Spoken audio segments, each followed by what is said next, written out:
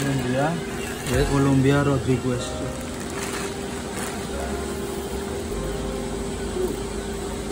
Smells very sweet. That sweet.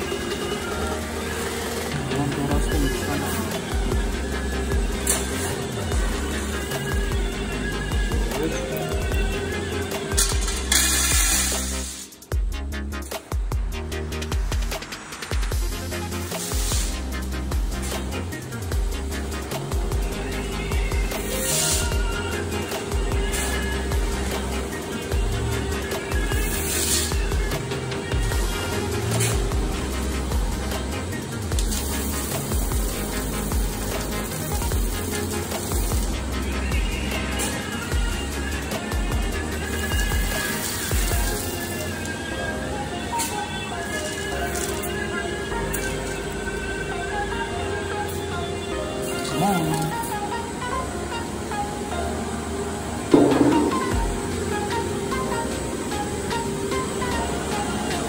one.